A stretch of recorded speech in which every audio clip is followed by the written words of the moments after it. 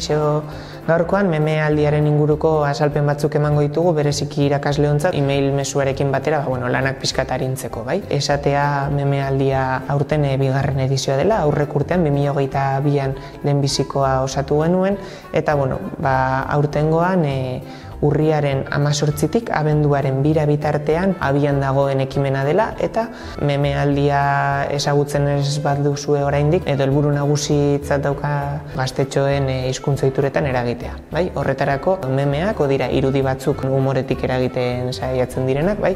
dira hortik eh, whatsappetik eta bueno, gero ere interneten erraz aurkitu daitezkenak eta gure planteamendua urtengoan da webune bat sortu dugu eta bertan aukera dago memeak sortzeko. Bai? Orduan e, eskolentzako eskakizuna da e, webunean bertan badagoela azalduta nola egiten den e, meme bat, e, zerotik, eta bueno, e, da, e, bertan azalpen guztia datoz nola egin eta bar. Bai, eta horretaz gain ere esatea ez dela beharrezkoa inon erregistratzea, orduan aukera ematen duela deskargatzeko e, ordenagailuan e, bainolako arazorik gabe. Ere importante esatea e, ordenagailutik egin daitekela, eta baita ere ekimenean parte hartzeko e, guri bidali bar zizkigula. Bai, horretarako bi bide daude.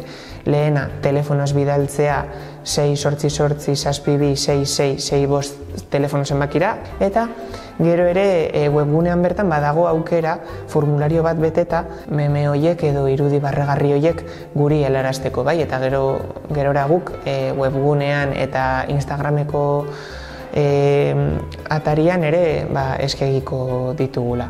Bai, batez ere, e, aurtengo asmoa da eduki horiek sortzen ba, bueno, pizkate bultzatzea gazteak, ez? Ba, bueno, denok egin eragin dezakegulako humoretik eta euskaraz, eta e, bestetik e, asmoa da jasotzen ditugun irudi horiek, e, plazaratzea eta gaztetxoek ere aukera izan desatela e, euskaraz e, eduki horiek kontsumitzeko. Gero ere aipatzea parte hartzen duten guztien artean bi asterik behin egingo direla egiten ari garela e, sari banaketak, ba unerarteko sariak izaten ari dira e, hiru lagunentzako afaria eskualdeko taberna batean eta e, baita ere e, mai jolas e, olan multxotxo bat.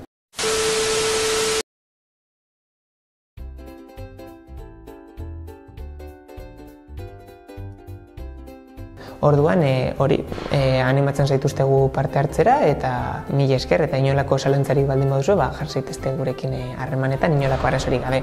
Ondo izan!